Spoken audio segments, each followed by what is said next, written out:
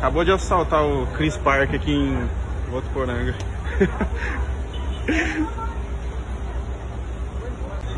Ó, cachorro criminoso no centro de Votuporanga.